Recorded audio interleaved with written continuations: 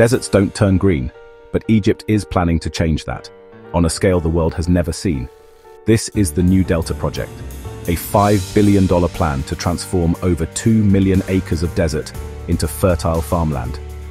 That's bigger than the size of Kuwait. But why is Egypt doing this? Because the stakes are high.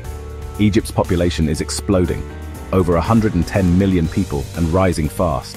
Yet only 4% of Egypt's land is usable for farming, and that's mostly around the Nile River. And the Nile is under threat from overuse, pollution and international disputes. So, Egypt is looking west, into the desert. The plan? Use advanced irrigation systems, treated wastewater, and pumped groundwater to grow wheat, corn, and vegetables in the middle of nowhere. They're digging hundreds of wells, building new roads, and setting up entire agricultural towns. And it's not just about food. This also means jobs, exports, and national security. But there are challenges. The desert is harsh, extreme heat, poor soil, and scarce water and environmentalists worry that overpumping aquifers could dry them up long-term. Still, the project is moving fast. With support from both the public and private sectors, Egypt hopes to reduce its dependence on imported food, especially wheat, which it buys in huge quantities every year.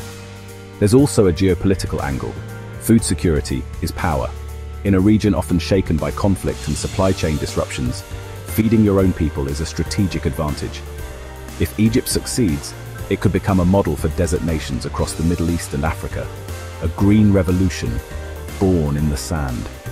So, can a country famous for its pyramids and deserts become a global leader in agriculture? Only time will tell. Like, share, and follow for more jaw-dropping stories of human innovation.